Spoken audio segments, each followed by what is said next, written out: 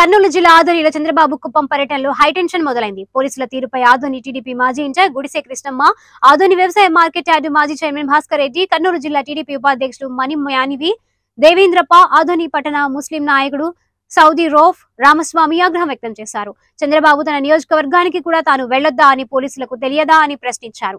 Road షోకు పోలీసులు ఎందుకు అనుమతి ఇవ్వట్లేదు అని నోటీసులపై పోలీసులు రాతపూర్వకంగా వివరణ ఇవ్వాలని భాస్కర్ రెడ్డి డిమాండ్ చేశారు.